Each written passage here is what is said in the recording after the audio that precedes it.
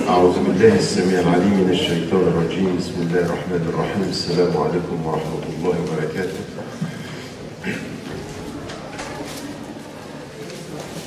Ça va, vous êtes... euh,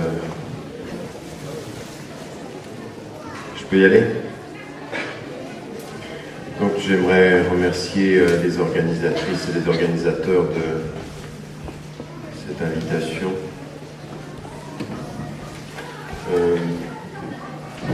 Et comme il, je ne sais pas si vous êtes au courant du, sujet, ça va tourner ce soir autour de la question de l'éthique. On vous a dit ça? Vous ne saviez pas, vous êtes venu, vous avez vu la lumière, vous êtes, euh, vous êtes arrêté. Donc, euh, donc c'est sur l'éthique.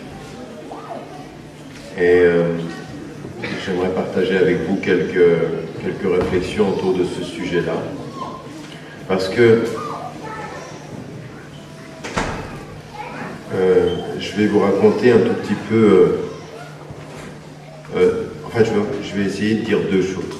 La première, c'est expliquer pourquoi, dans le cheminement qui a été le mien depuis euh, euh, 25 ans, eh bien, à un moment donné, on s'aperçoit, ou je me suis aperçu, ou, au fil de l'écriture ou des, des études, euh, de ce qu'a été, euh, pourquoi ce thème-là est important au cœur de la référence musulmane, mais également au cœur de notre référence dans le monde contemporain. Et puis le deuxième élément, au-delà de l'expérience personnelle, essayer de réfléchir à un certain nombre de principes fondamentaux qui déterminent euh, les sources de l'éthique, les moyens de l'éthique et les finalités de l'éthique.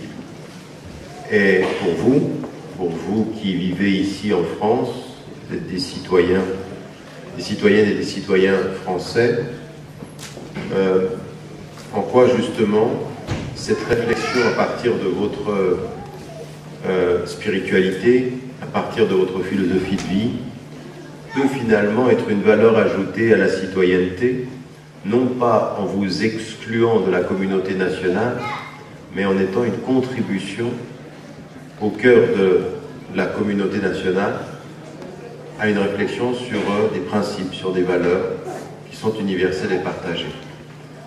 Donc contrairement à tout ce qui est dit aujourd'hui à partir de notre réflexion, le refus déterminé de toute conception de l'altérité et de l'enfermement communautaire, mais la participation au nom de l'éthique aux valeurs qui sont communes et aux valeurs qui sont partagées. Et donc ça, ce sera le deuxième volet. Mais avant d'arriver à ce deuxième volet, permettez-moi de, dire quelques mots justement sur euh, cette expérience personnelle.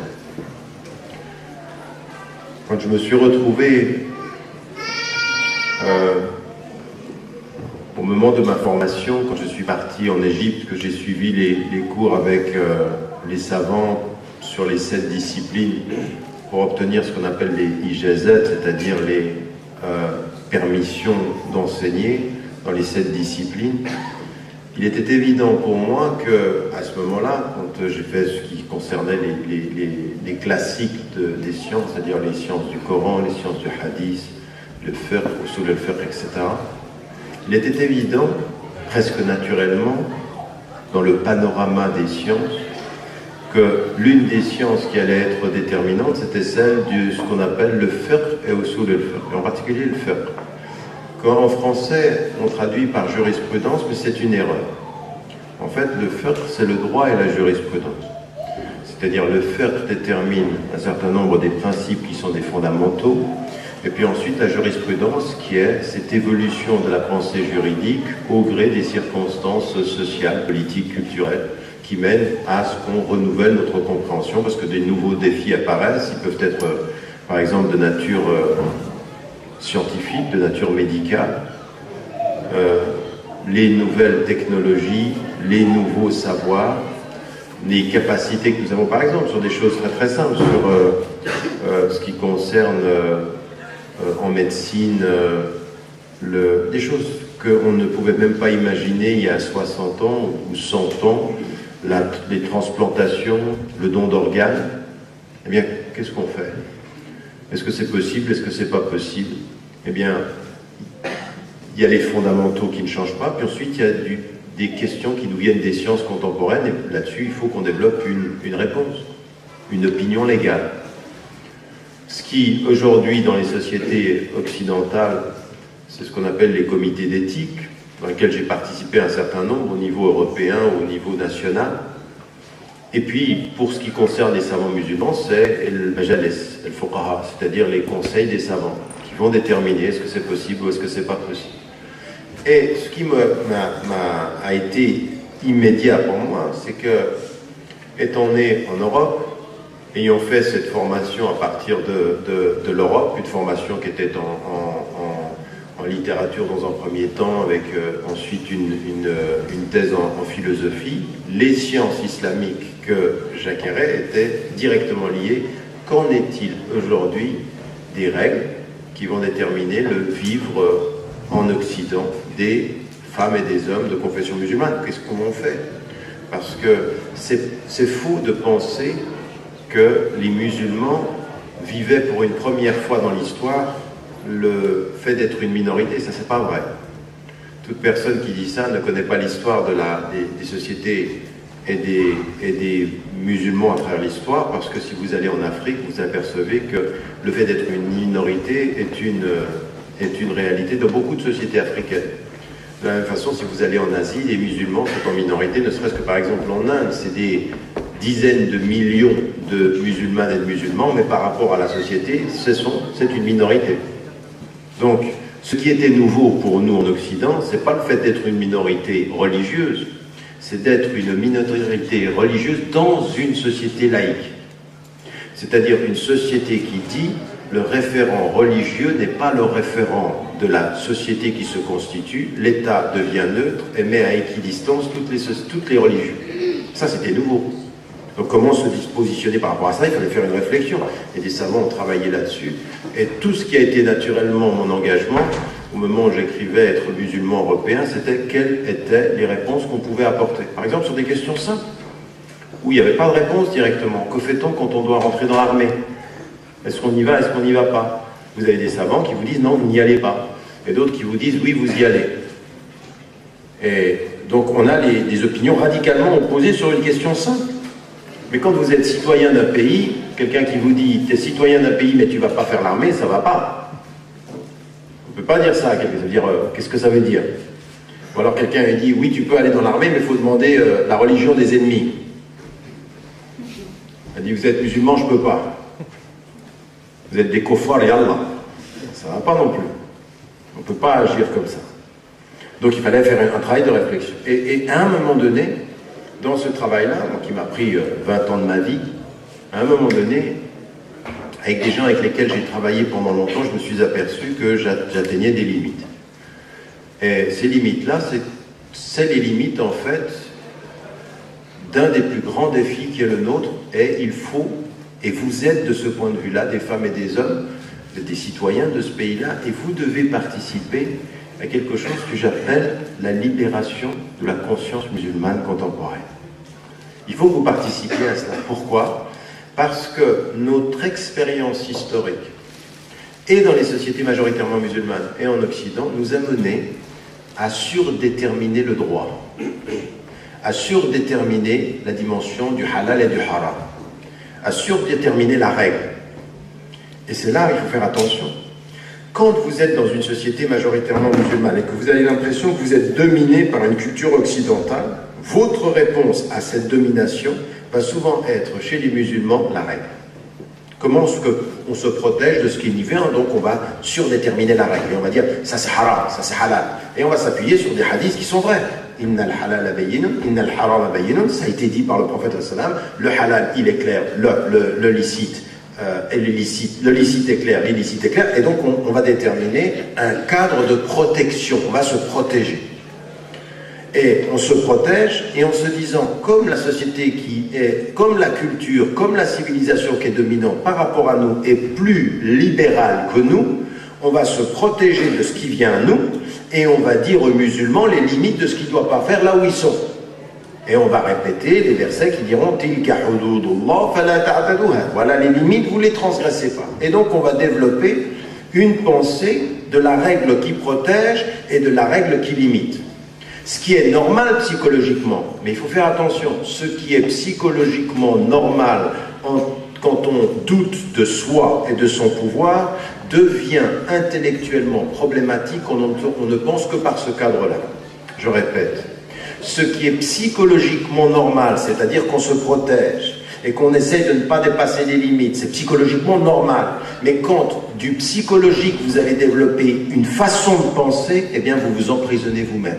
Vous êtes dans la surdétermination du droit, et ça veut dire quoi la surdétermination du droit? C'est en fait, quand vous êtes sur un chemin et que vous allez dans une destination, eh bien, dans la destination, vous finissez par regarder la limite plus que l'objectif.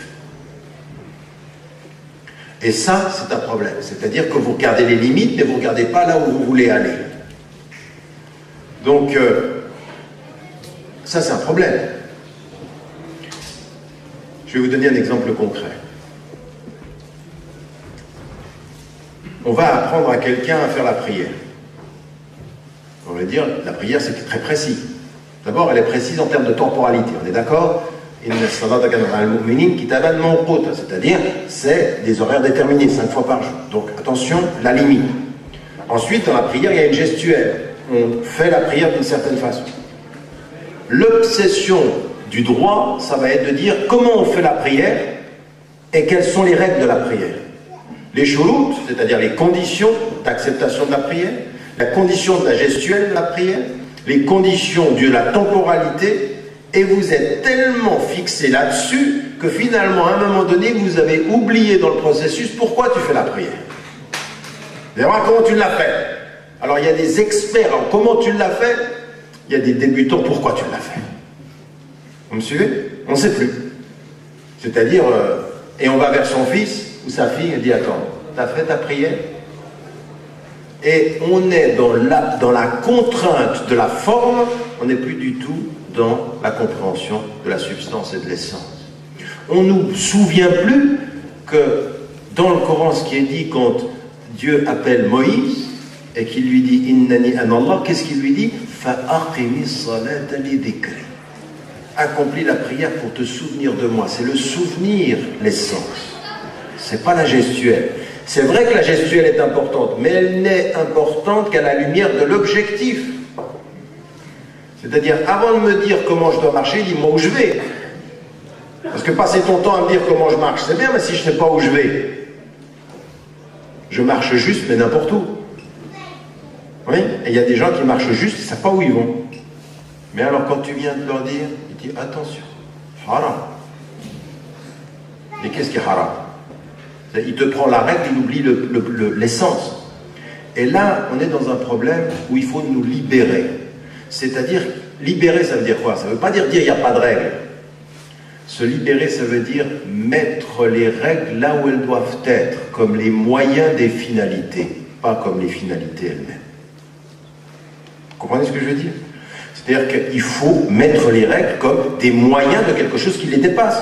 On est strict avec les règles parce qu'on veut quelque chose qui va au-delà. Donc il faut qu'on se rappelle le sens. Et donc, en fait, c'est exactement ce qui va être notre compréhension du Coran. Quand Aïcha, elle dit de son, mari, le prophète, quand on lui pose la question qui était-il? Elle dit Son caractère, c'était la, la, la transformation de l'essence du Coran, du message dans la vie.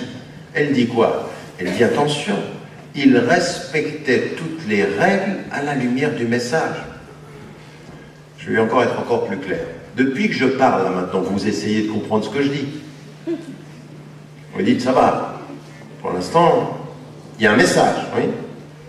Le message, c'est quoi? C'est la destination. Oui, puis il y a des règles dans le message. Pourquoi est-ce que vous me comprenez maintenant?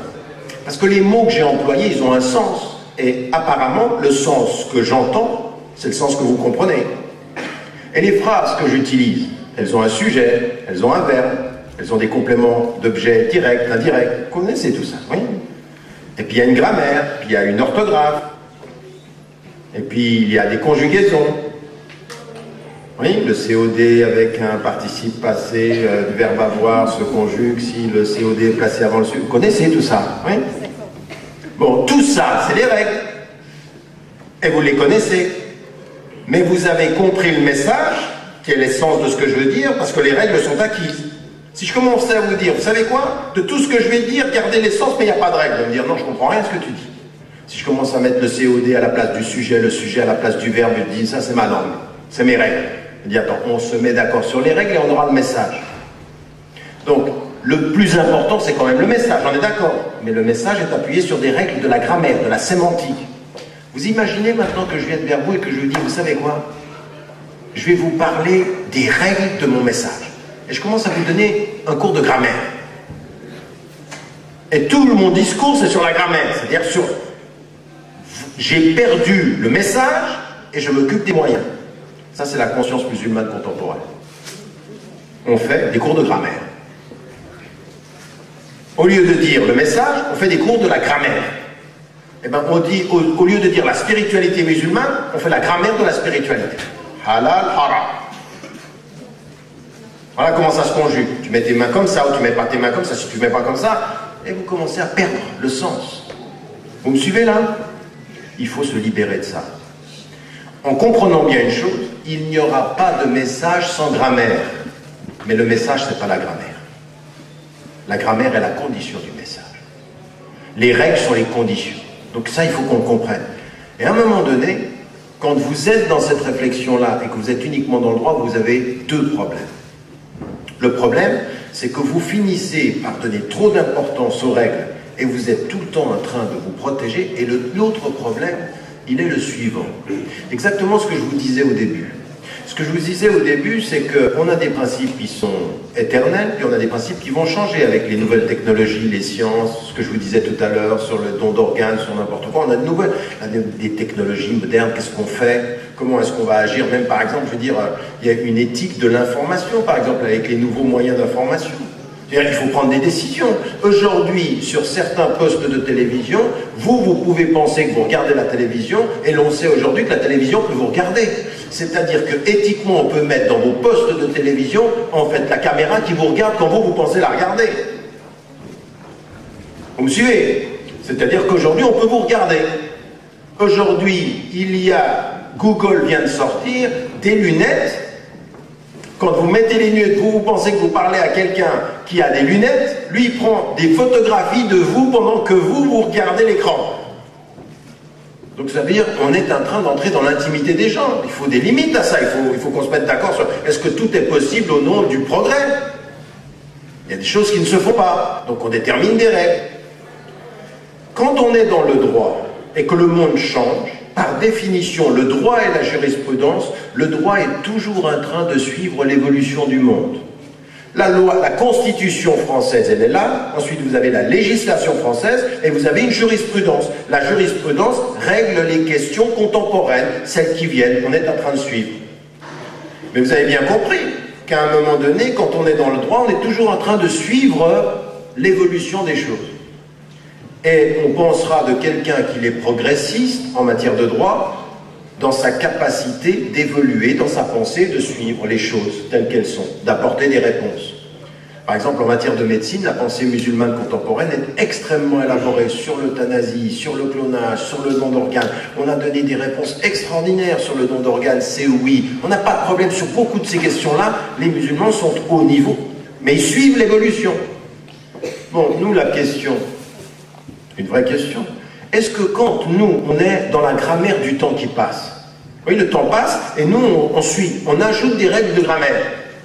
Oui, c'est comme quand vous avez un dictionnaire, dans le dictionnaire, vous avez des nouveaux mots. Donc on, suit. Bon, j'ai une question à vous poser.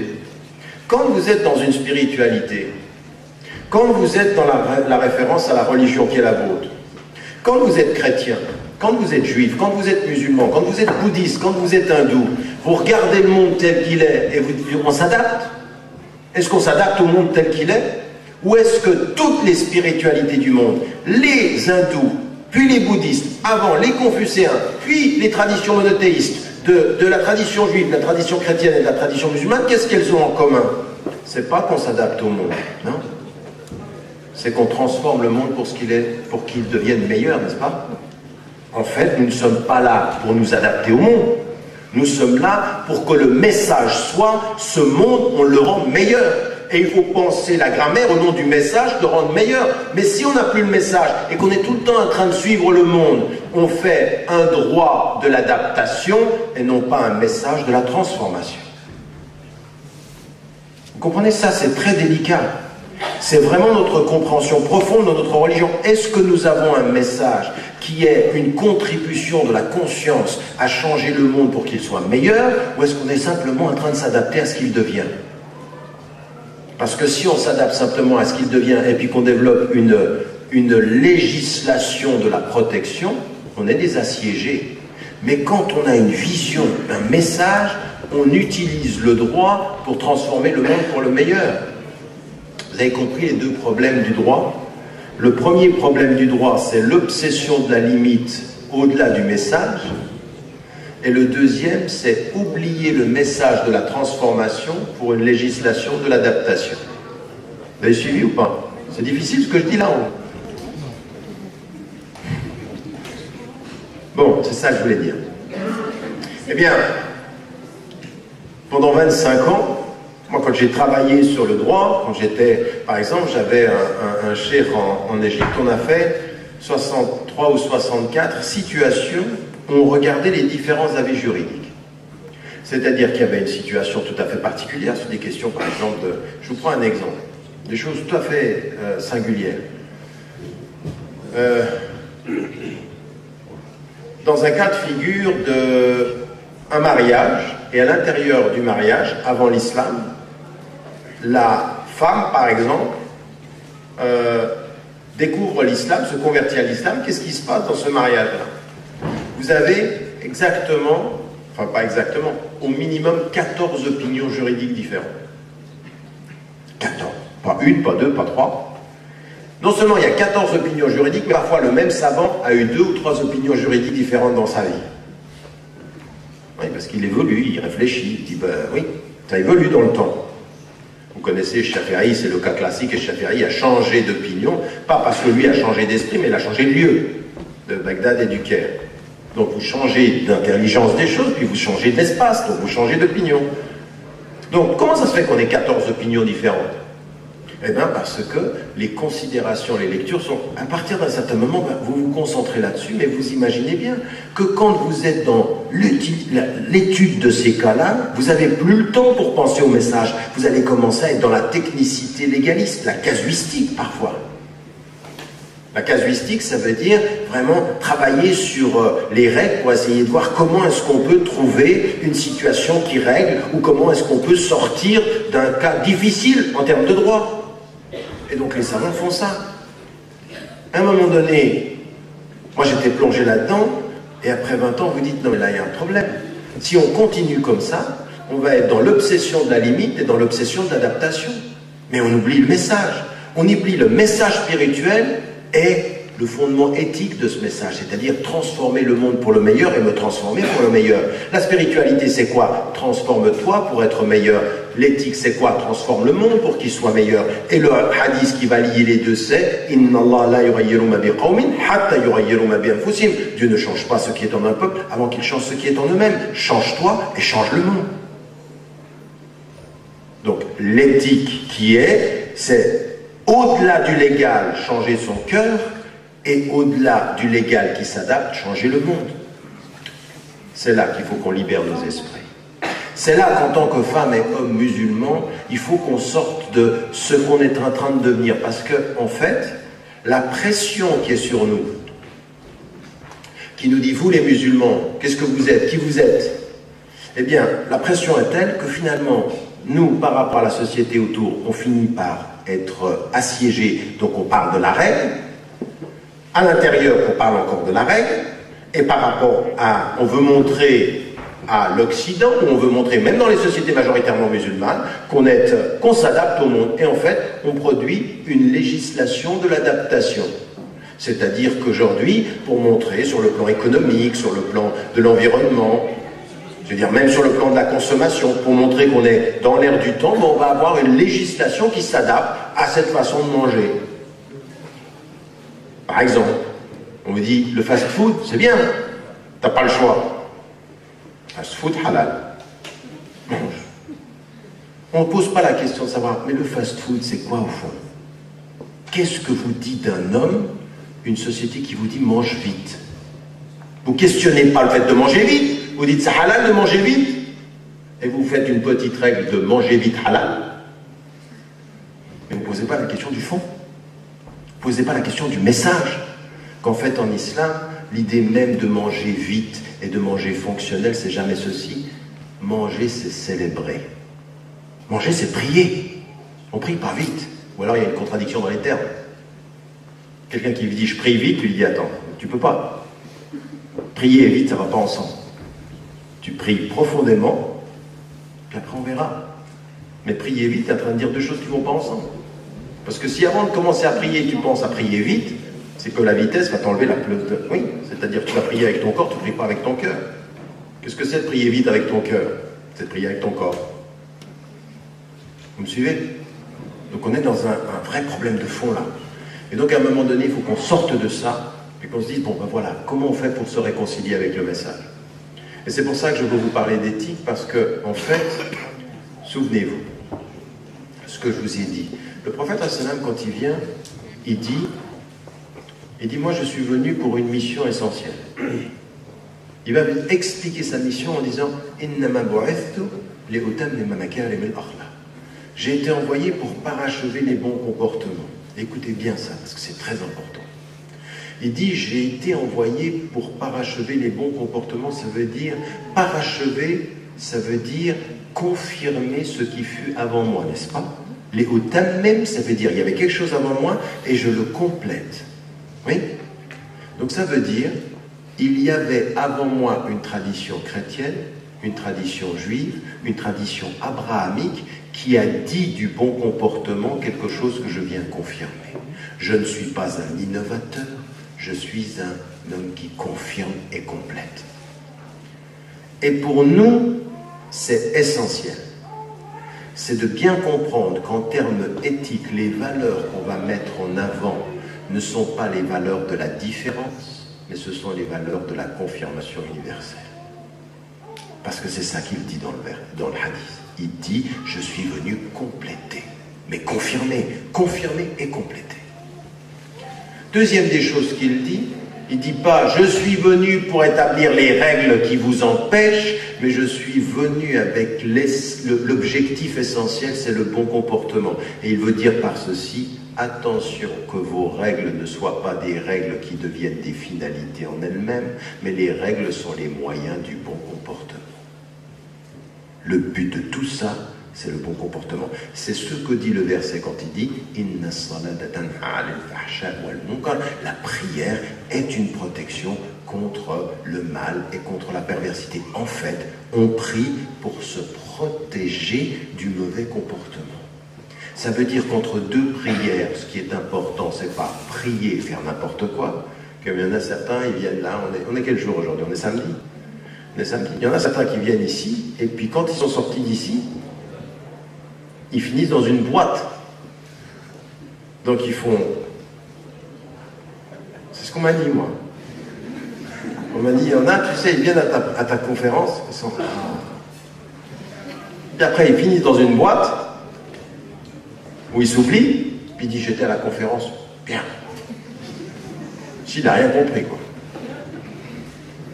Mais on a à comprendre une chose, c'est que les prières cinq fois par jour et notre comportement spirituel, il est pour transformer notre être. C'est ça le but. Et quand il dit je suis venu pour parachever les bons comportements, c'est changer notre être dans le bon comportement et toutes les règles que l'on a. La dimension de la compréhension de la les six piliers de la foi, les cinq piliers de la pratique, le rapport au Coran, c'est quoi? La transformation spirituelle de notre être, c'est ça? C'est de nous faire passer du naturel, el-fitra, al-ihsan, que tu, que tu adores Dieu comme si tu le voyais, c'est-à-dire à proximité de sa présence. Le, et la fitra, c'est il y a une étincelle dans ton cœur. et l'iman et l'ihsan, il y a la lumière autour de toi. De l'étincelle qui t'amène à Dieu à la lumière qui te fait vivre dans sa présence. Oui, vous voyez ça? Min al-fitra il al-iman il al-ihsan. Étincelle, ouverture et lumière. C'est ça qu'on doit faire, non? C'est ça le but. C'est ça que ça veut dire quand il dit c'est-à-dire ça doit se voir. Ceux qui aujourd'hui vous disent, vous les musulmans, devenez invisibles. Et on a même des gens dans notre communauté qui deviennent invisibles. Ils on ne peut pas devenir invisible. L'invisibilité, c'est pas possible. Maintenant, toute la question est de savoir comment on est visible. C'est ça la question. Certains vont vous dire, bon, maintenant, vous pouvez essayer de devenir invisible. Vous changez vos tenues vestimentaires, vous changez vos prénoms, vous changez vos couleurs. Pour essayer, bonne chance. Essayez, ça ne marchera pas. Maintenant, même sur certains, par rapport aux mosquées, on n'est pas obligé de faire des mosquées euh, en France, type oriental, Maroc, Algérie, Tunisie, Arabie Saoudite, Turquie. Non, on peut faire des mosquées qui sont des mosquées avec un style artistique d'ici. Bien sûr, ça se fait partout, il faut le faire. Il faudra qu'on sache les principes de la mosquée restent, la forme change. Pourquoi on n'aurait pas des mosquées contemporaines euh, de type du goût euh, de la France du Nord? Aucun problème? Je ne sais pas si vous avez une culture du Nord, mais il paraît. Donc c'est pas un problème avec ça. Mais par contre, il y a des principes qui restent. Les principes restent, les goûts changent. On n'a aucun problème avec ça. Mais ça, reste une mosquée. Vous n'allez pas faire comme Matisse euh, qui dit euh, en, dessinant une pipe, ceci n'est pas une pipe. Vous n'allez pas marquer devant la mosquée, c'est pas une mosquée, c'est une mosquée. Ça s'appelle mosquée. C'est le lieu des musulmans où on prie. Donc on ne va pas disparaître. La question est comment on va apparaître dans la différence ou dans la distinction. Et comprenez bien ce que je suis en train de vous dire ici.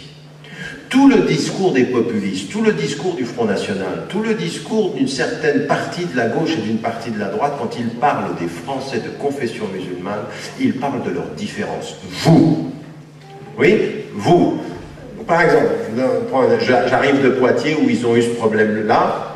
Vous allez avoir euh, il prie dans la rue. Quand il prie dans la rue, c'est la distinction par la différence. Il prie, eux, ou dans nos rues. C'est nos rues et c'est eux. Leur prière, c'est leur différence. Nos rues, c'est nous.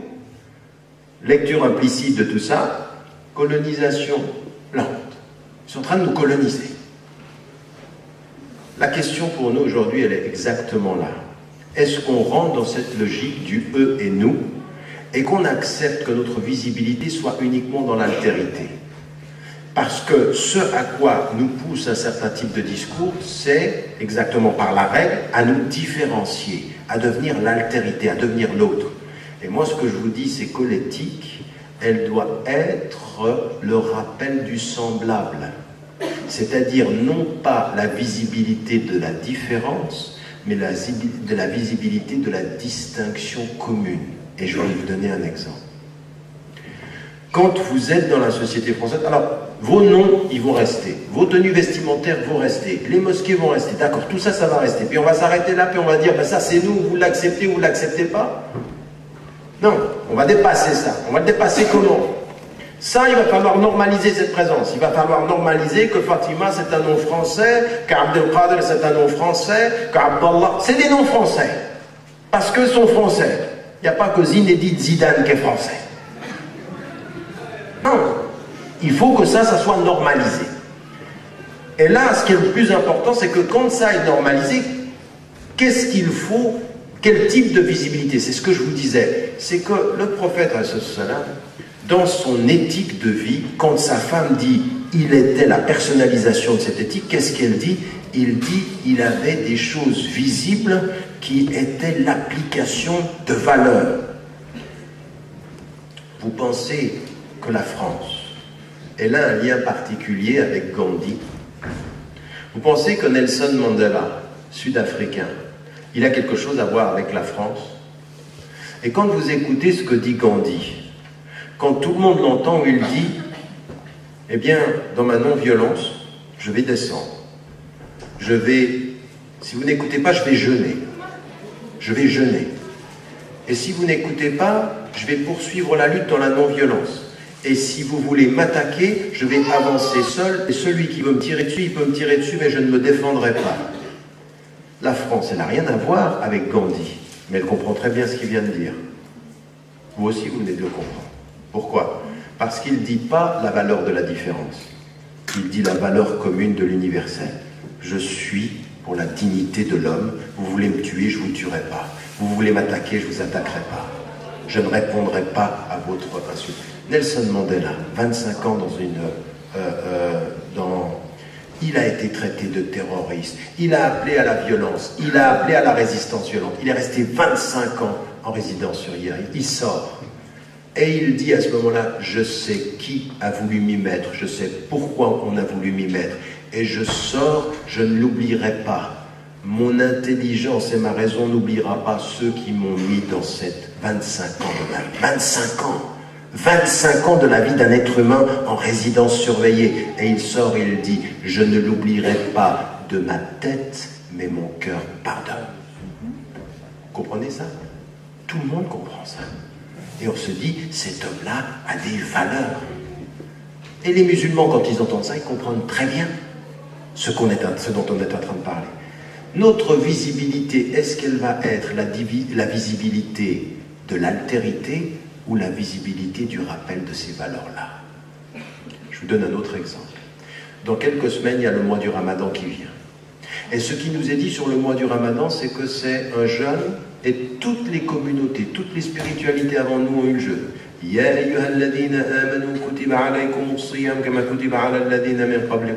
Oh vous qui portez la foi, le jeûne vous a été prescrit comme il a été prescrit avec ceux, avec ceux à, ceux qui vous ont précédé. Vous allez en Inde, ils jeûnent. Vous allez en Chine, les Confucéens, ils jeûnent. Vous allez euh, chez les bouddhistes, ils jeûnent. Moi, j'ai vu le Dalai Lama jeûner. Vous allez chez les juifs, ils ont un jeûne prescrit. Les chrétiens, un jeûne prescrit. Les musulmans, un jeûne prescrit. Bon, maintenant, quand on va parler du jeûne, vous, en tant que musulman, vous allez dire quoi? À dire, ah non, attends, nous, c'est un jeûne particulier. Nous, c'est le vrai. Nous, ça, c'est la vérité. Nous, à partir de ça, on ne mange plus, on ne boit plus. À partir du mal. Quand vous allez expliquer le jeûne aux gens, vous allez dire la différence, votre jeûne à vous, vous allez dire vos règles, regardez, l'esprit de la règle, c'est de dire voilà comment je jeûne. Mais on ne te parle pas de ça. Quand on te demande la mission, on ne te dit pas dis-nous la règle. Quand tu vas me parler, là, tu vas pas me dire la grammaire. Toi, tu es en train de faire la grammaire du jeûne. Il y en a qui passent leur temps ici à parler de la grammaire du jeûne. Et quand on leur dit le jeûne, ils vont dire Ah, mais tu sais, c'est dur de ne pas manger, de ne pas boire. Mais pourquoi tu nous parles de la grammaire Ça, c'est juste les règles. Pourquoi tu jeûnes? Pourquoi tu jeûnes? Pourquoi 11, un douzième de ta vie, pendant toute la journée, tu vas arrêter de boire et de manger pour te maîtriser, maîtriser ta langue, maîtriser ton corps, t'approcher de l'un et t'approcher du pauvre? Pourquoi tu fais ça? Parce que c'est un, un regard de dignité. Tu n'es pas l'esclave de ta consommation. Tu es le maître de ta conscience. Vous prenez ce que je viens de dire là, et vous le dites à n'importe quel être humain sur la Terre, il ne comprend pas ça. Il comprend autant que Mandela et Gandhi. Le problème, c'est les musulmans parlent des règles et ils oublient le message.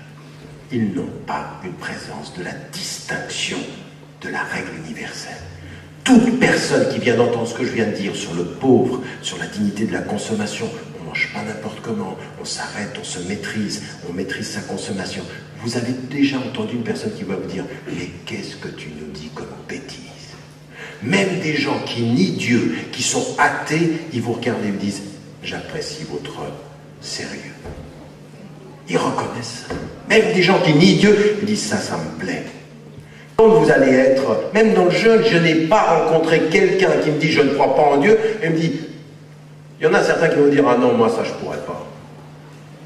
Ah non, mais pourquoi tu fais ça? Tu te fais du mal. Profite de la vie.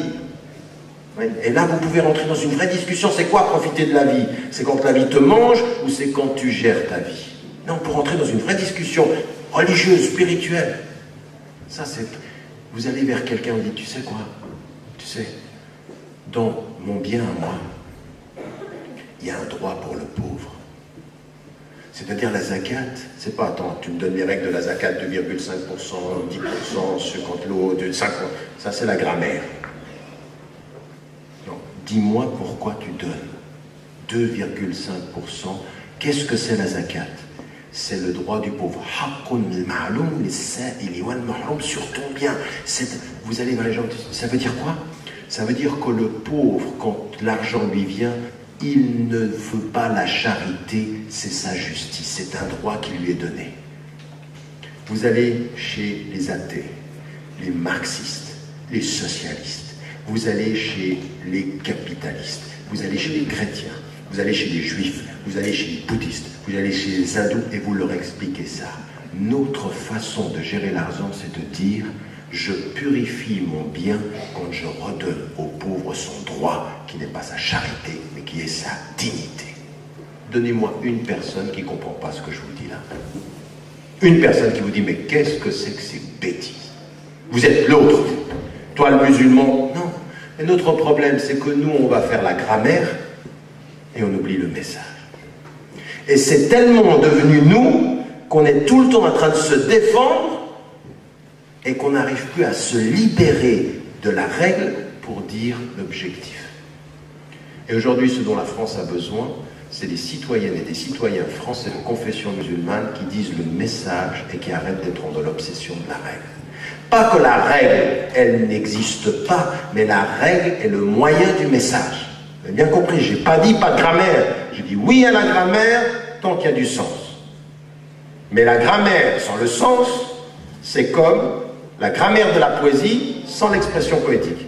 C'est-à-dire, c'est quelqu'un qui vous dit euh, euh, valse mélancolique et langoureux vertige, et qui dit valse mélancolique, mélancolique, épithète. Je dis, attends, tu m'as tout cassé là. C'est valse mélancolique et langoureux vertige, t'as tout cassé. Tu es en train de mettre l'épithète, le sujet, le... Non, mais c'est pas de ça dont on parle. L'islam, c'est la beauté de valse mélancolique et langoureux vertige Allahu Jamil. Il est beau, il aime la beauté. Et il vous dit cette beauté, c'est pas l'obsession de la grammaire, c'est le sens du rythme.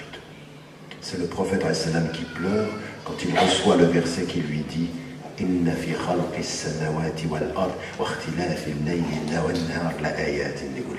pleure. Il pleure parce que c'est beau. Il ne va pas dire la grammaire du verset. Il n'y a pas de règle. Dans ce verset, il n'y a aucune règle de prescription. Il n'y a ni tu dois prier, ni tu dois jeûner. Il y a juste la beauté de cette nature qui te dit, il y a un Dieu qui l'a créé. Et quand vous dites, dit Michel Serres, le philosophe, qui dit quand vous êtes dans le désert et que vous regardez le désert, si vous n'avez pas une conscience du divin dans le désert, il y a une négligence. Lui, c'est ce qu'il croit. Parce qu'il a une sensibilité religieuse. Il y en a qui ne le verront pas, Dieu, dans le désert. Et puis il y en a d'autres qui sentiront cette présence. La perception éthique, elle est celle-ci, c'est celle aujourd'hui qui fait que vous, Français, au cœur de la France, au nom de cette éthique, vous comprenez qu'il faut que vous ayez ce rappel de la distinction du sens, c'est-à-dire une présence de la distinction. Rappelez à la France les principes qui sont ceux qu'il décline, que la France décline, mais que souvent elle ne respecte pas. Dire, franchement, quand on vit en France et qu'on se promène dans certaines cités, c'est dur de se dire liberté, égalité, fraternité. Mais à l'égalité, il y a des problèmes quand même. La fraternité, c'est la fraternité de certains. La vraie fraternité, c'est celle qui doit être une fraternité où, tous sont impliqués, tous sont inclus dans cette fraternité. Et la liberté, on peut dire, moi, encore, une fois, je viens ici, je dois presque remercier les gens ici de cette salle de nous laisser parler. Je viens de Poitiers, ils ont fait quatre salles pour qu'on puisse parler. J'étais invité dans 12 universités en France, 10 sont annulées deux jours avant. Et on vient vers moi, on dit, t'es dans le pays de la liberté. La géométrie variable. La géométrie variable. Parce que ça vient de l'État. Je dis, attendez, le problème là, c'est triste. Mais c'est pas triste pour nous. Un pays qui a une géométrie variable quant à la gestion de la liberté, c'est lui qui est en danger. C'est pas ceux dont il prend la parole qui est en danger. Je suis pas du tout en danger en France de cette parole qui m'est enlevée. C'est la France qui est en danger.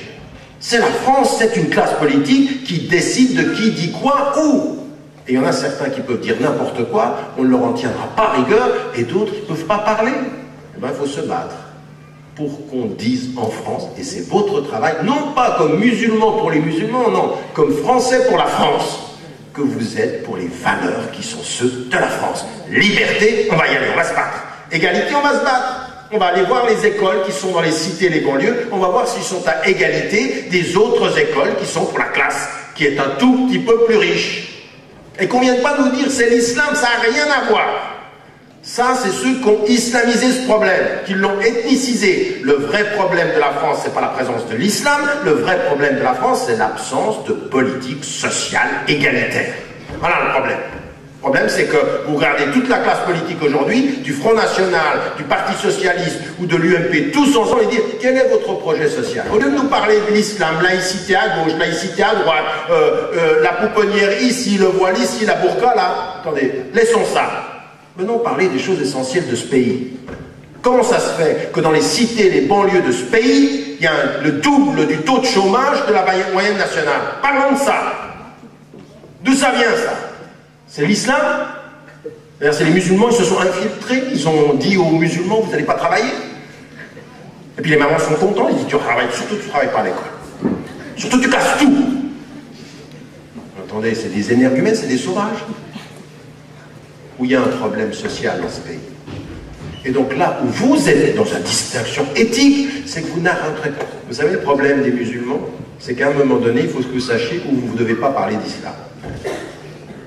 Mais nous, c'est le contraire. Dès qu'il y a l'islam, hop, on est là.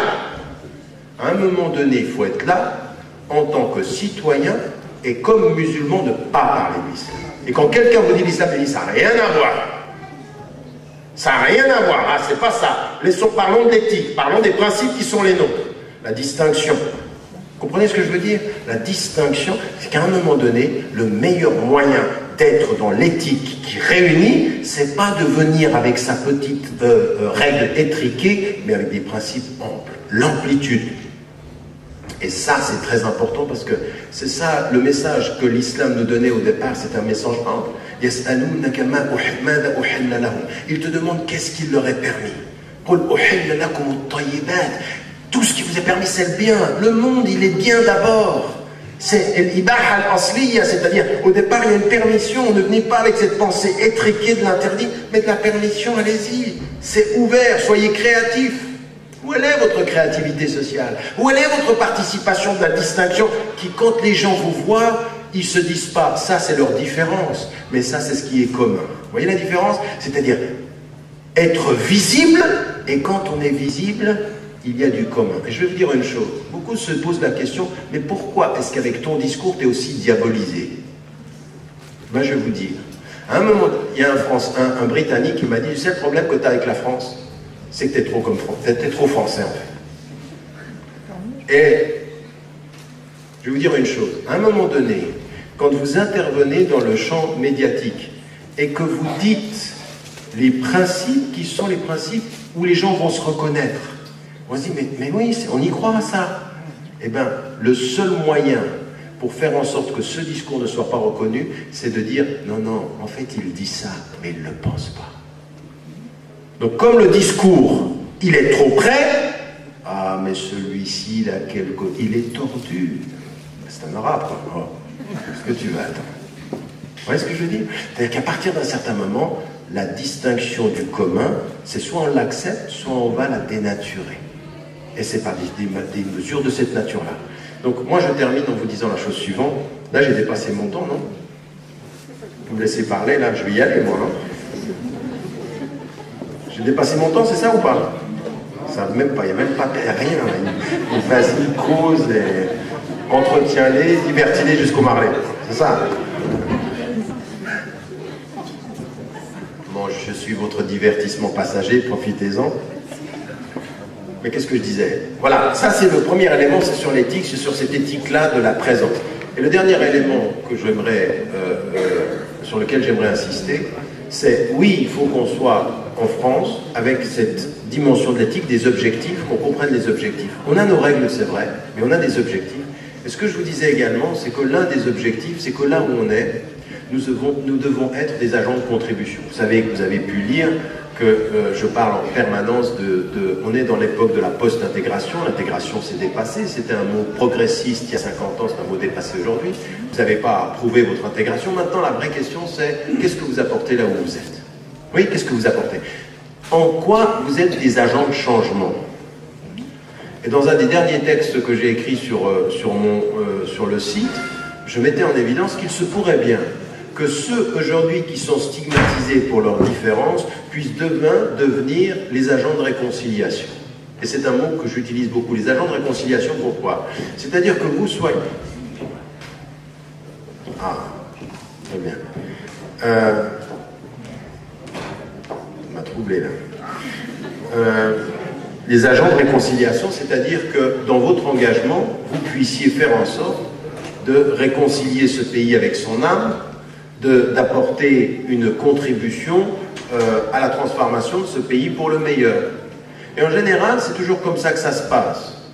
Historiquement, c'est une règle sociologique, je veux dire, euh, Ibn Khaldoun l'avait mis en évidence, mais vous retrouvez ceci dans, chez tous les sociologues, ceux qui réussissent ou ceux qui permettent à des sociétés de se réconcilier avec les valeurs, ce n'est pas forcément ceux qui ont le pouvoir, c'est ceux qui subissent des discriminations. Parce que ceux qui ont le pouvoir, ben, eux, ils sont contents, ils ont envie que ça reste comme ça. Ils ont leurs privilèges, je dis, attends. Oui, on a nos privilèges. Ceux qui subissent des discriminations, eux, peuvent devenir des, agents de contribution à une seule, à une seule exception, avec une seule, à une condition fondamentale, c'est qu'ils ne deviennent pas, eux, en tant que victimes, des gens qui produisent la mentalité de victime. C'est-à-dire, à un moment donné, oui, il y a des victimes de discrimination. Mais on ne va pas s'asseoir en disant, ils ne nous aiment pas, la France n'aime pas l'islam, la France n'aime pas les Arabes. Ça, ton discours-là, si tu vas continuer à nous tenir ce discours-là, toi, tu n'es pas un agent de transformation pour le meilleur, tu es un agent de la sempiternelle complainte. Euh, tu te complais dans la... Non, ça, il faut sortir de ça. Il faut se libérer de ça. En se disant, bon voilà, on est su, il y a des victimes. Maintenant, on sort de la, de la mentalité de victime et on devient, au nom de l'éthique, des agents de réconciliation. C'est-à-dire qu'on va se battre pour la fraternité humaine, on va se battre pour la justice, on va être des agents qui allons amener dans cette société quelque chose de nouveau, à tous les niveaux, dans tous les domaines. Et ces éléments, ces éléments de réconciliation, ils vont être aussi une des choses qui est très importante pour nous. C'est que cette réconciliation, pour sortir de l'attitude de victime pour devenir un sujet, il y a un double travail à faire. Vous ne pouvez pas vous en sortir différemment. Le premier travail à faire, c'est par rapport à vous-même. C'est comment vous vous regardez. Vous prenez un miroir, vous vous regardez dans le miroir et vous vous dites, qui est-ce que je suis dans ce miroir-là? Qu'est-ce que je veux faire de moi? Parce qu'il y en a certains d'entre vous, là, j'arrive à la, gare et je vois deux personnes qui rentrent dans la voiture. Bien, du style, vas-y, continue, pas toi. Mais c'est bien gentil de se battre pour les gens. La question, c'est savoir qui est-ce qu'il y a derrière. J'arrive à Poitiers, il y en a deux qui m'arrêtent, et qui m'arrêtent et qui me disent vraiment c'est bien, vraiment tu, les, tu leur rentres dedans. ils sont très contents parce que ça clash. Comme il y en a, il y a certains qui voient les vidéos là sur internet, les YouTube, c'est les clashs. Ils sont contents, ça c'est la meilleure des vidéos, c'est les clashs.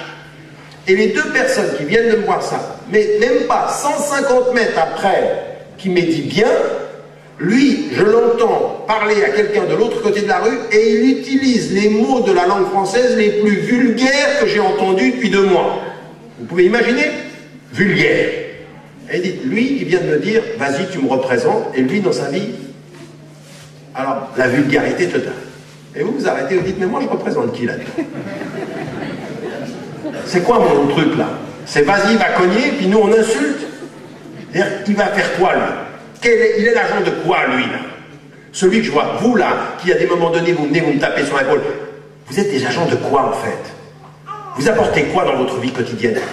Alors, c'est ça le plus important. C'est comment, aujourd'hui, d'un point de vue personnel, déjà, on commence soit à devenir une personne de dignité.